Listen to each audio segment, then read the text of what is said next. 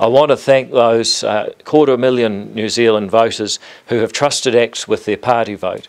Uh, we campaigned on a platform of real change to fix the economy by ending government waste, to get costs down, by restoring the balance between consequences for criminals and rights for their victims, and to ensure that the division, particularly by race, that has riven New Zealand under the Ardern Hipkins government ends, and we unite New Zealand with a clear understanding of what our treaty means and what it means to be a citizen.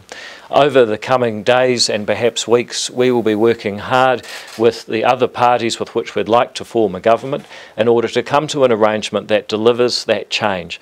People want to see a government that can roll up its sleeve and start making the changes that they voted for to relieve them of the considerable pressures that they've experienced over the last six years and in some areas of policy uh, for longer than that.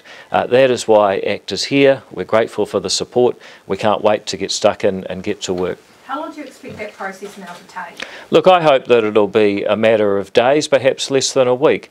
Well, ACT National have worked pretty hard on what a deal between us looks like. Um, we anticipate that we will sit down with all three parties, I expect at some point next week. Uh, we've also reached out separately to New Zealand First, and uh, we'll continue to do that as well because ultimately uh, the voters have asked three parties to work together, and the voter in an election is king. What the voters have said is that they want us to work together.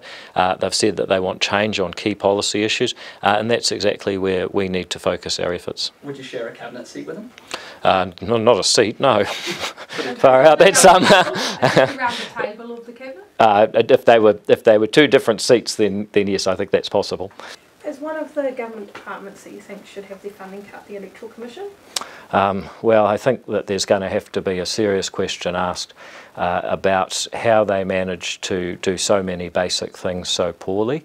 Uh, and then the same question that I think should be applied to any government department is what are the core activities they need to do well?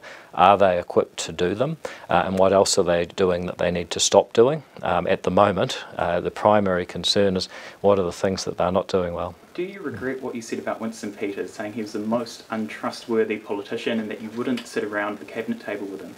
Uh, no, I don't. Um, you know, I said that at a time uh, when it appeared unlikely we'd get to this particular point, and uh, now we're here. We've got to respect the will of the voters. Um, but what I said, you know, is, is still true, and unfortunately, um, you know, we now will do our best to deliver the change that people want.